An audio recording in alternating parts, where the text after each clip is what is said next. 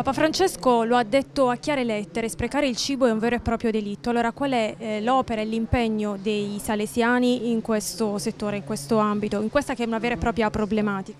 Sì, certamente non poteva lasciarci indifferente questo appello di Papa Francesco e non poteva lasciarci indifferente la grande iniziativa italiana dell'Expo 2015 che diventa una grande risorsa anche a livello educativo. Certamente noi a partire dal discorso del cibo, oltre a una sana formazione a livello di un'alimentazione corretta, ci stiamo impegnando molto sul leggere la fame dei ragazzi non solo da un punto di vista alimentare ma la fame di tutti quelli che sono i diritti che molto spesso vengono negati ai minori del sud Italia. Per questo motivo il prossimo anno stiamo lanciando un contest multiespressivo eh, attraverso varie forme comunicative che i giovani sceglieranno, poi sono molto creativi quindi non avranno difficoltà in questo, che possa fotografare quella che è la fame dei, del sud, una fame che nasce molto spesso dai diritti negati, la fame del lavoro, la fame dei diritti sociali, la fame dei diritti eh,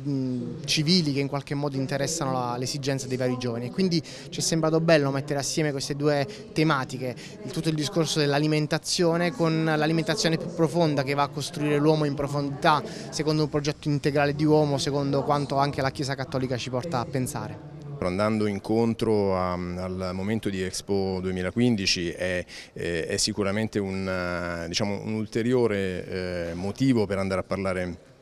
di cibo, di cultura del, del buon cibo, di, soprattutto della cultura del eh, cibo che noi eh, troviamo molto vicino alle, alle, città in cui viviamo. Lo facciamo eh, sicuramente con dei partner quest'anno che sono attenti anche ad aspetti educativi in altro, in altro, senso e quindi questo ci fa ulteriormente piacere. Noi cerchiamo di fare, come, come, dice, come lo diciamo, diciamo spesso, agricoltura. E la possibilità di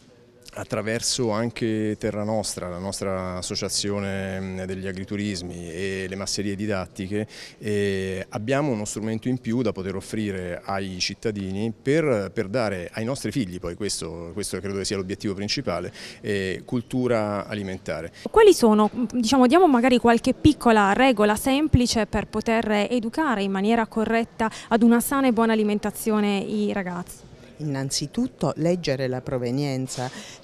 e accertarsi che sia quella reale dichiarata, perché spesso la frutta non è italiana e viene distribuita come italiana. Bisogna pretendere dal fruttivendolo o da chi la, dagli addetti una chiara provenienza, ci devono essere dei certificati di, sia per la frutta, la verdura, perché purtroppo altre nazioni ora producono tantissimo, però non abbiamo certezze. Eh, dobbiamo avere delle certezze anche per la pasta, che spesso viene fatta con del grano conservato a lungo di provenienza o dall'est o dal Canada con micotossine e la quantità se per l'adulto c'è un gradiente maggiore, ma nel bambino sino a 12 anni è un terzo di quello dell'adulto. Se le mamme facessero un po' di più in casa, vedendo la provenienza, sarebbe tanto di guadagnato anche per i dolci. E noi sappiamo che l'agricoltura da questo punto di vista deve fare